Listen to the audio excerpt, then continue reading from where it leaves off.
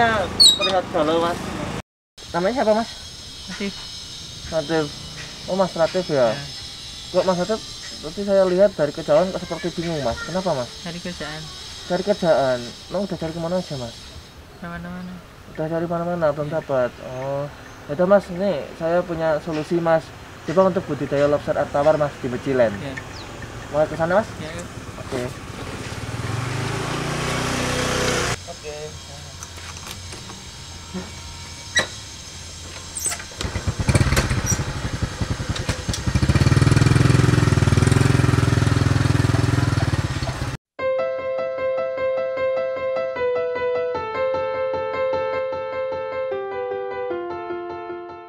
mas Latif ya, kita sudah sampai lokasinya mas Latif ya. Nah ini bisa dilihat ya Mas, Lok- eh, Mas Atep lokasinya ada di sini. Nah ini penggerak budidaya lobster air tawar. Semua bisa budidaya lobster, semua bisa menikmati lobster. Ya. Mau lihat Mas Atep? ya.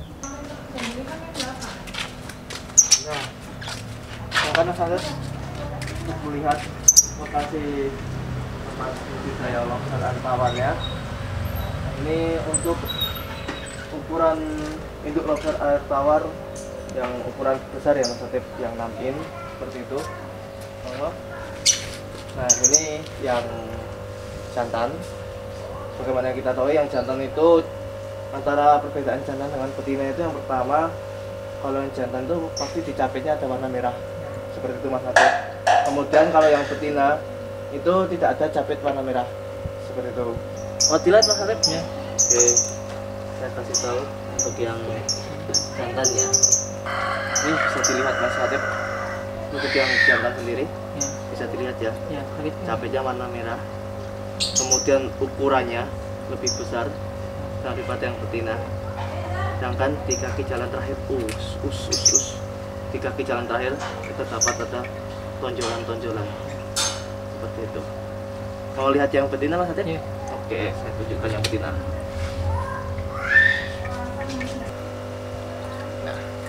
Contoh yang betina Mas. Bisa dilihat. Ini yang pertama dari capitnya tidak ada warna merah.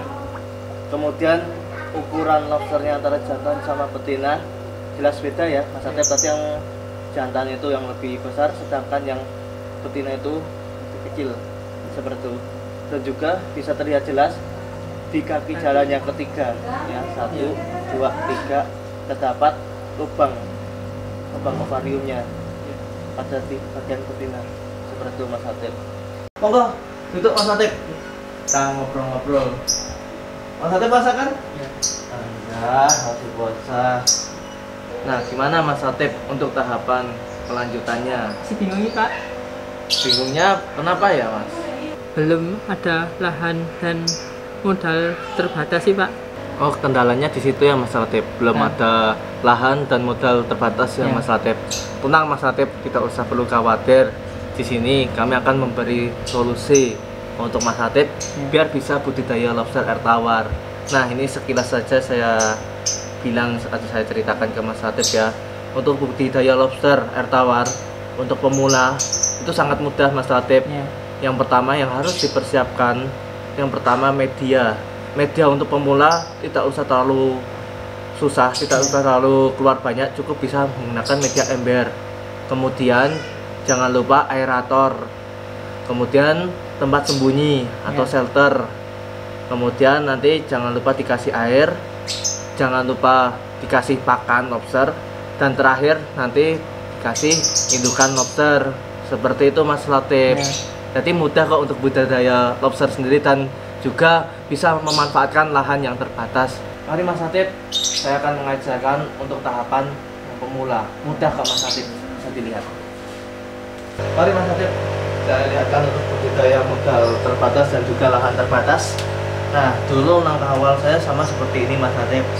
Ketika saya dulu masih bingung dengan lahan terbatas dan juga modal terbatas cukup sederhana Mas Hatip sediakan dua ember kemudian pasang aerator di setiap ember kemudian shelter tempat sembunyi masing-masing ember dikasih kemudian jangan lupa air dan juga yang pasti yang terakhir jangan lupa hidupkan lobster. Nah kemudian ini ada pakannya mas Atip nah pakannya sendiri ini pakan biji-bijian.